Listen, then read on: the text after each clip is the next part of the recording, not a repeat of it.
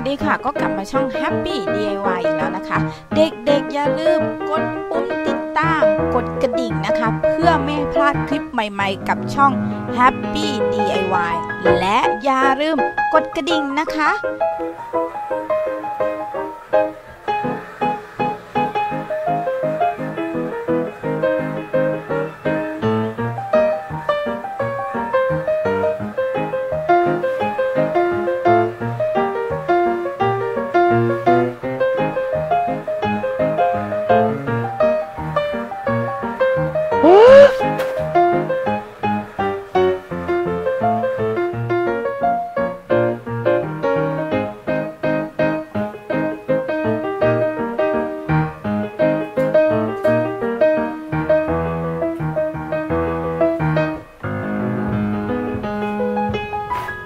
어?